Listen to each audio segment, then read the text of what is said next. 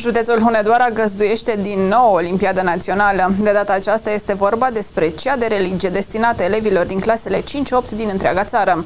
Olimpiada se desfășoară săptămâna aceasta, perioadă în care peste 300 de elevi și circa 50 de profesori și însoțitori vor fi prezenți în județ. Premierea va avea loc sâmbătă la sediul Inspectoratului Școlar Județean.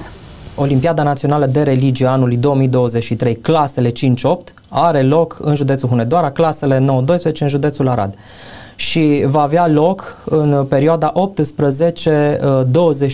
aprilie. Vor participa 350, mai mult de 350 de copii din toată țara, vreo 40 și ceva de profesori însoțitori și aproape 30 de membri ai Comisiei Centrale, adică cei care vor corecta lucrările.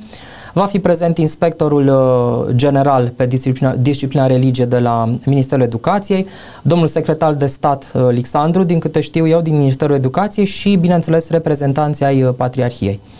Președinte de onoare al comisiei este Preasfințitul Părinte Nestor, ca episcop al Devei și Hunedoarei care va oficia slujba de deschidere a Olimpiadei Naționale uh, la Biserica Dormirea Maicii Domnului de aici din Deva, ca, noua catedrală din Deva, și care va împărți probabil și premiile sâmbătă, în 22 uh, uh, aprilie, la sala mare a Inspectoratului Școlar Județean.